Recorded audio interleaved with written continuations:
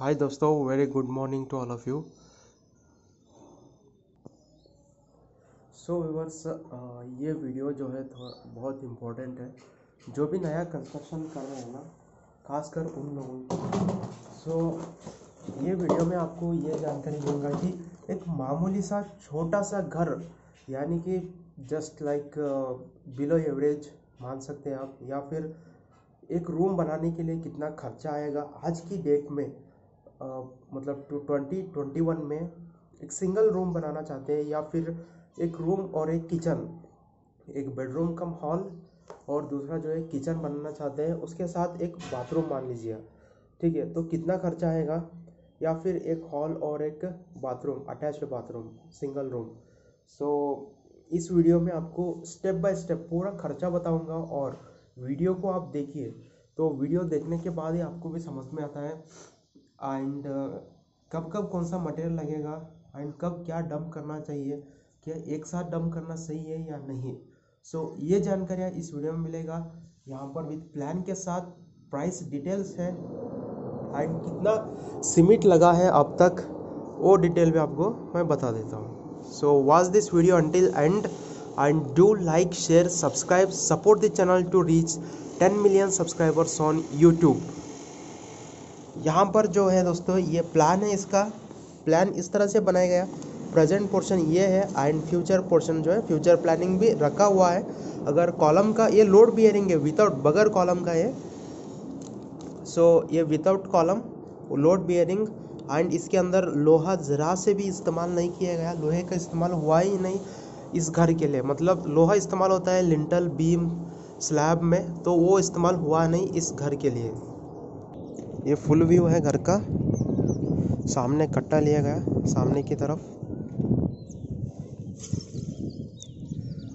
और ये ऊपर टिन विदाउट स्लैब का है। सो टिन शीट्स लिया गया स्लैब रिप्लेस करके। ये फ्रंट व्यू ईस्ट फेसिंग सामने आ, सामने एक विंडो और उसके बाजू में डोर कोई वेंटिलेटर नहीं है एंड विंडो के अपोजिट और एक विंडो है। ठीक है, ये ईस्ट फेसिंग का, मैं साउथ फेस दिखाता हूँ आपको। ये जो है कॉर्नर व्यू 40 बाई 50 प्लॉट है टोटल, एंड कंस्ट्रक्शन जो है आउटर टू आउटर, ऐसा जो है ना 21 फीट, ऐसा ऐसा जो है fourteen feet so 14 by 21 feet में construction so approximate 300 square feet होता है ये। Okay and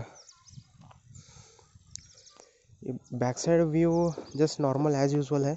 इसमें देखिएगा, इधर एक पिलर लिया गया, वहाँ पे एक पिलर फिर उसके बाद उधर एक पिलर इधर पिलर यानी कि पिलर मतलब डबल पन्ने का इस्तेमाल किया गया। एंड ये जो है कट्टा लिया गया सामने की तरफ़। थोड़ा तो कट्टा रहना बोल के, ये जो एक्स्ट्रा पत्थर बच गए थे, इसको चुप ऐसे रखा गया है। आप चाहे तो यूज़ करिए या फिर नहीं। ठीक है दोस्तों, मैं अभी आपको नॉर्थ की तरफ़ से दिखाऊँगा। ऐसा स्टेप लिया गया विथ इसके बारे में बताऊँगा मैं।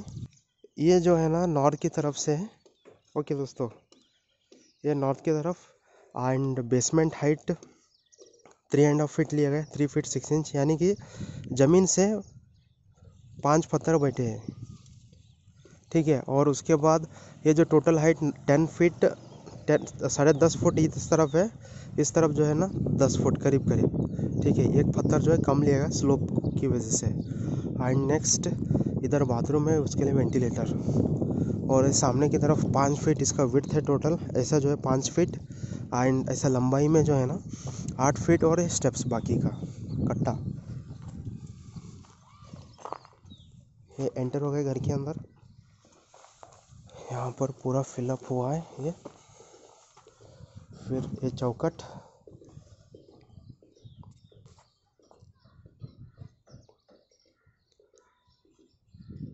ओके चौकट के ऊपर लिंटल वो सब नहीं होता बोल के इधर लिए गया अब पत्थर पत्थर लिया गया उसका सपोर्टिंग के लिए। एंड ये जो रूफ़ है ना दोस्तों जब आप खासकर जहाँ पर भी लाते हैं आप सो वेल्डर को वेल्डर को जो बुलाने से अच्छा रहेगा बट उसके अलावा दूसरा जो ऑप्शन रहेगा आप, इनको भी ला सकते हैं। जैसा ये जो बिठाया गया विदाउट स्क्रू बिना स्क्रू मदद के से बिठाया गया एंड इसमें जो टोटल पाइप इस्तेमाल हुआ, देखिएगा, ये अंदर का व्यू है, घर के अंदर रूम के अंदर का व्यू एकदम स्टैंडर्ड हाइट लिएगा मतलब फ्यूचर में अगर आप इसी को कंटिन्यू करना चाहते हैं तो कंटिन्यू कर सकते हैं ओके उस तरह से लिया गया इसका हाइट हो डायमेंशंस विड्थ डेप्थ सब कुछ। एकदम स्टैंडर्ड साइजेस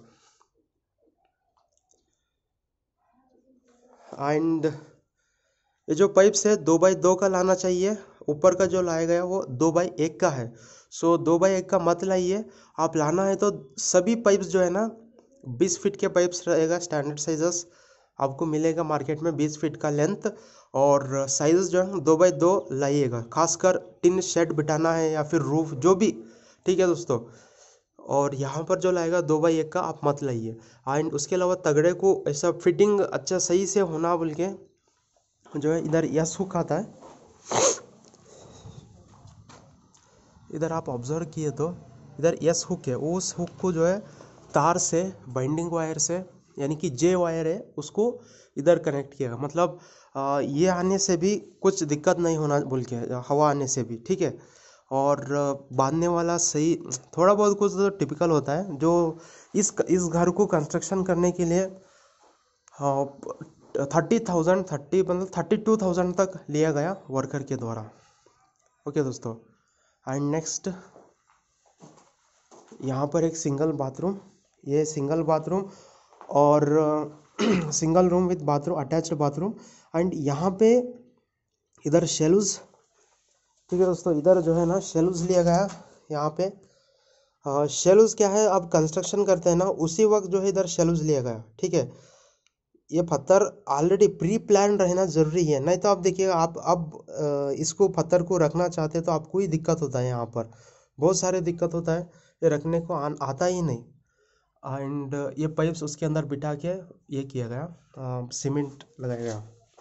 और एक bathroom three feet six inch by six two seven feet तक है। सिक्स एंड हाफ़ फीट मान लीजिएगा। काफ़ी कंफर्टेबल है।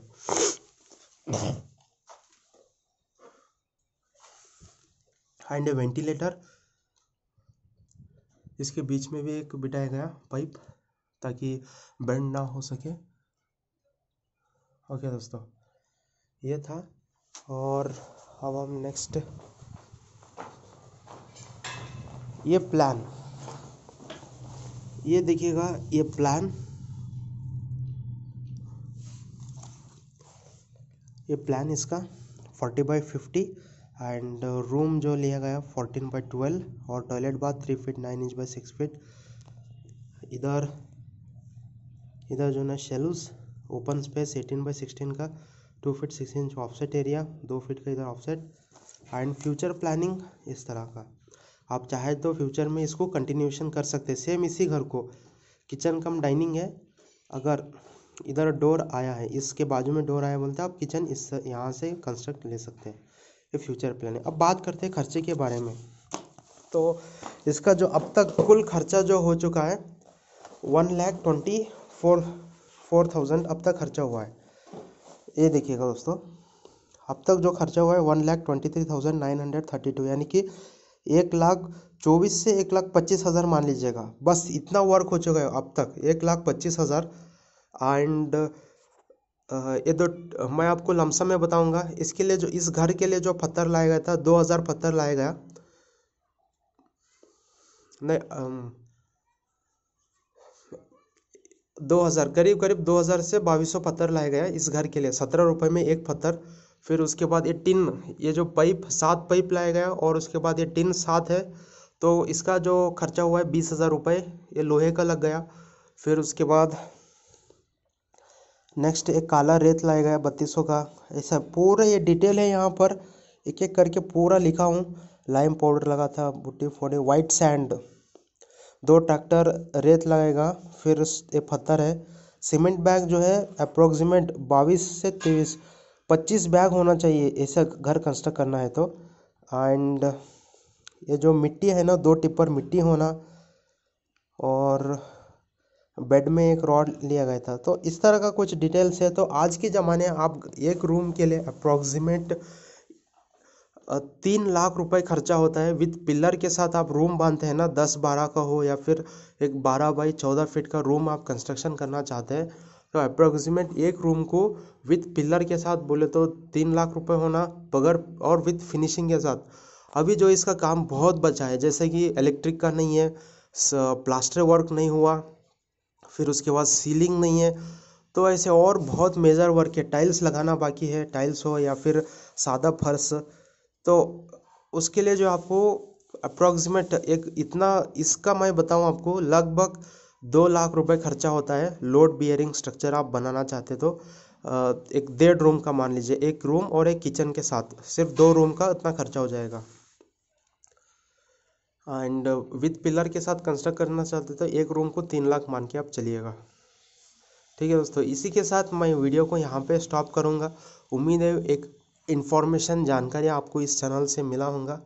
Thank you so much keep support us to reach ten million subscribers on YouTube and room simple है but फिर भी जो है इसका बेसमेंट हाइट ज़्यादा लिया गया बिकॉज़ चाहे वो छाप हो, कुत्ते हो, कोई भी हो, अन्य अनवांटेड जीवी जो है घर के अंदर आसानी से ना आ सके। That's it